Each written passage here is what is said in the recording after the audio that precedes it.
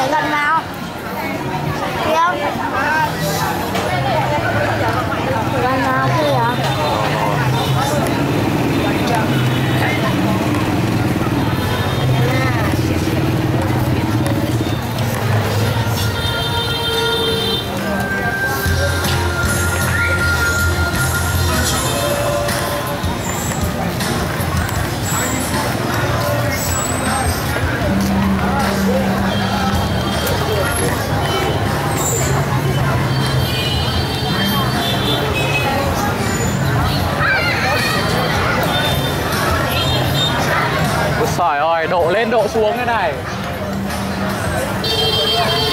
phải quả nhả nhanh thế không? Dạ, Quay quả chưa? rồi rồi Có rồi các bạn